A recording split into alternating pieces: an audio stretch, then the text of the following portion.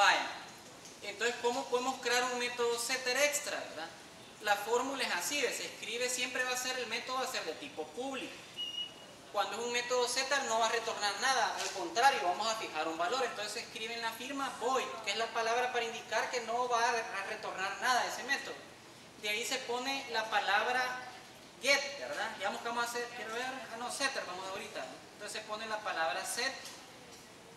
Después se pone prácticamente lo que sería este, el nombre de la variable. Digamos, ahorita ya tenemos nombres, el siguiente sería género, ¿verdad? Entonces le digo aquí género. De ahí se pone el tipo de dato de género que ahí nos dice, es de tipo char. Entonces el tipo de dato sería tipo char y de ahí se escribe el nombre de la eh, el nombre de la variable que es género o el parámetro que vamos a pasar. El parámetro puede ser nada más este género en minúsculas o como ustedes quieran, eso es, indiferente. Y luego cerramos, Y esta sería prácticamente la firma del método setter para, para género. Entonces, ¿cómo le decimos? Bueno, luego le decimos acá género, ¿verdad?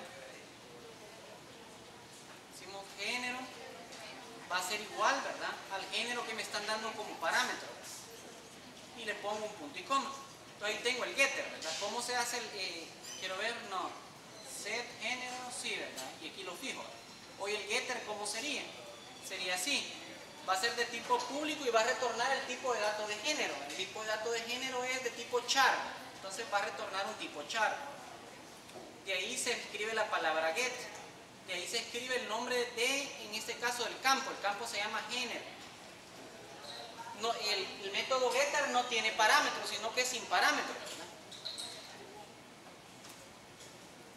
de esta manera, formo el método getter. Y se agrega lo que se conoce como la, palabra reservada return. El return lo que hace es devolvernos el valor de una variable. en este caso va a retornar género. Género pongo punto y coma. De ahí si lo voy aquí compilar, debería de compilar, Parece class compiler, no syntax error. Ahí tengo, entonces quiere decir que si yo vengo acá y le digo creo un cliente X, le digo nuevo cliente X, digamos así, primeramente así sin, sin parámetros.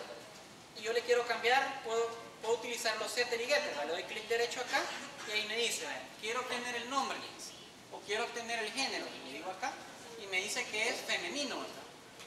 Vale, si yo le quiero cambiar el género, le doy clic derecho y le pongo acá, ¿verdad? Set género.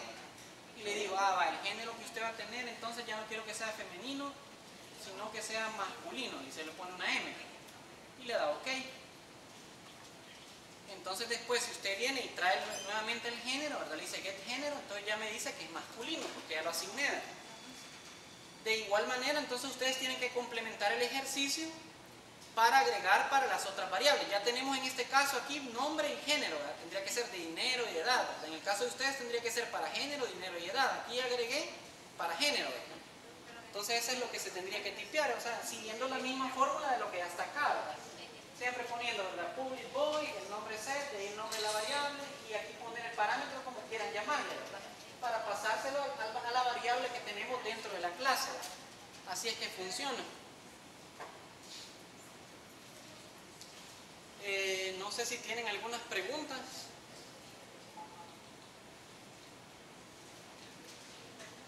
van a utilizar para generar los getter y los setter son los nombres de las variables que tienen acá dentro de la plantilla y el tipo de dato. El tipo de dato lo obtienen de acá, que es esto que está en rojito, serían. Estos que están en rojito y este que está acá, que se llama string, también es el tipo de dato. Entonces eso utilizarían ustedes prácticamente. Uh -huh. Sí, digan. Vale, esperamos a cancelar este primero.